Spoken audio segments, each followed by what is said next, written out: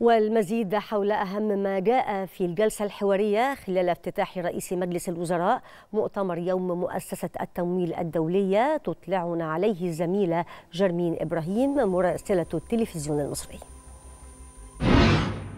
بعد التحية نتابع معكم فعاليات يوم مؤسسة التمويل الدولية وهذه الفعاليات التي انطلقت بحضور الدكتور مصطفى مدبولي رئيس مجلس الوزراء وعدد من الوزراء والمسؤولين. وتأتي أيضا على هامش زيارة نائب رئيس مؤسسة التمويل الدولية لمنطقة إفريقيا إلى مصر خلال الفترة من الحادي عشر حتى الثالث عشر من مايو الجاري. بتنظم هذه الفعاليات مؤسسة التمويل الدولية وهي عضو مجموعة البنك الدولي وبتجمع عدد من كبار المسؤولين من القطاع الحكومي والقطاع الخاص وذلك لمناقشة جهود تمكين القطاع الخاص وأيضا العمل على مناقشة الفرص والتحديات التي تواجه الاقتصاد المحلي. أيضا خلال فعاليات اليوم تم عقد أكثر من جلسة نقاشيه لمناقشة عدد من